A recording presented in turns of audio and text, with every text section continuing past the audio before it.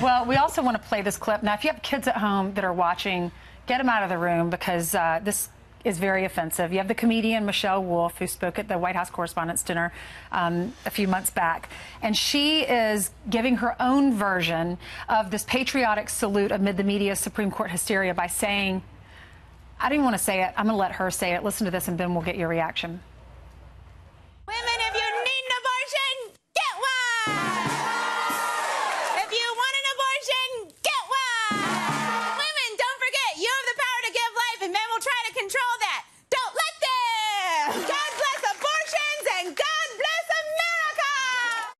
America! All right, Ben, your reaction? Oh, she's obviously a delight. I mean, the, the, the continual elevation of, of comedians who have no interest in making you laugh. They only are interested in making you clap, right? They're, going to get clapped. Or this is what's very important, is that, is that people clap for them.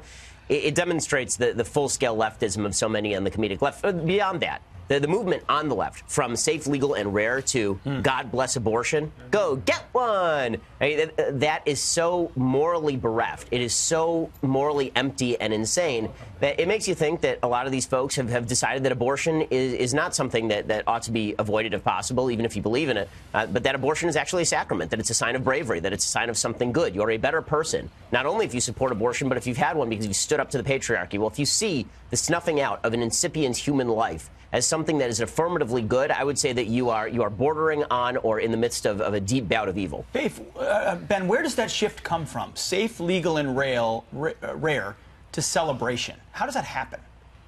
Uh, I I think that the, the Democratic Party, uh, the studies show that since 2010, they've moved radically to the left. Uh, and I think that they, they are so resistant to the idea that the, the science is now showing earlier and earlier how much a baby looks like a baby in the womb, uh, that they've decided it's important to come out and actually champion sin as opposed to suggesting that sin ought to be legal. And, and again, I, I think that it's the, the original position I think was unsustainable. Uh, this is a more honest position, but is also a, a much more evil position. In fact, she went on in that monologue and said, quote, some people say abortion is killing a baby. It's not. It's stopping a baby from happening.